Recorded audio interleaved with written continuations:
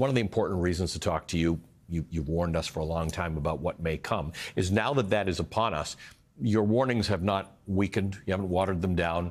You are truly alarmed at, at what you've been seeing in the last week and a half.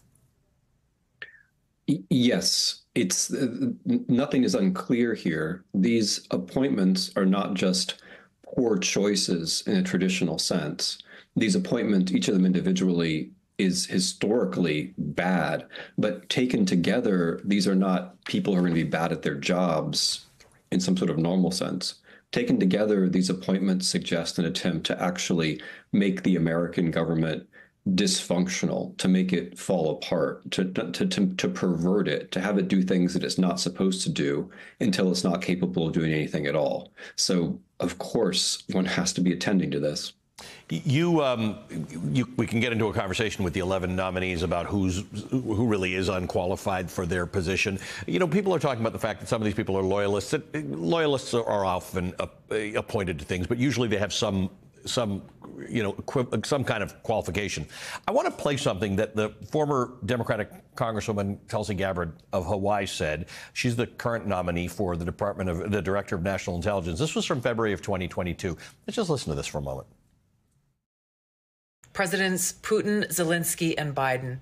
It's time to put geopolitics aside and embrace the spirit of aloha, respect, and love for the Ukrainian people by coming to an agreement that Ukraine will be a neutral country, no military alliance with NATO or Russia, and therefore alleviate the legitimate security concerns of both U.S. and NATO countries as well as Russia, because there'd be no Russian or NATO troops on each other's non Baltic borders.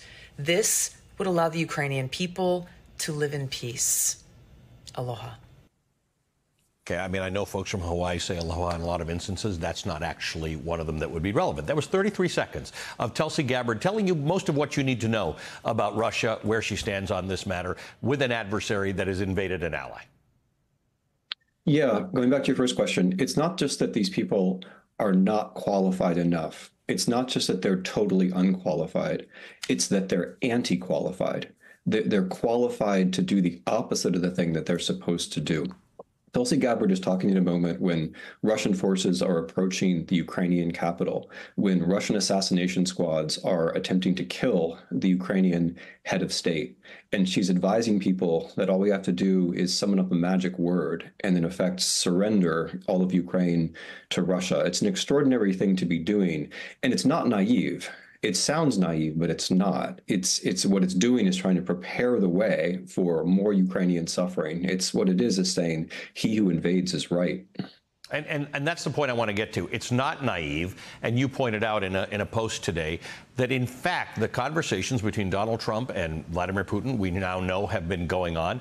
Elon Musk has been involved in those conversations, and putting aside the fact that Elon Musk is a man who, in three different businesses, makes money from the U.S. government and other governments, now is going to have a seat at the table, kind of oligarchy, if, if, if you've ever heard of such a thing. Um, this is this is part of a plan, something that they've been working toward this idea. Uh, Tulsi Gabbard eh, as you said, as, in as far as she's as she's known, she's known as being a sort of a fan of, of Vladimir Putin and someone who carries his water. You, tick down the list of all of these of all of these posts, and it's the same story. Uh, Gaetz at Justice is, is someone who could only pervert the rule of law, right? Hegseth in Department of Defense, it's the same thing. He's someone, I didn't mention this in the post, but in his book, he's essentially thinking about how um, American soldiers should be used against the enemies within, which is Trump's idea. You bring all these things together, and basically what you have is something quite coherent, which is the notion that the American government should be falling apart. American society should be in chaos, and that would be a very good thing. And of course, it's only a good thing if you're an enemy of the United States from abroad, or if you're an oligarch who thinks that somehow you're going to profit individually as everything else falls to pieces. What do you tell people? Because I'm sure in the last week and a half, everybody's been emailing you and texting you and asking these questions. What do we do now?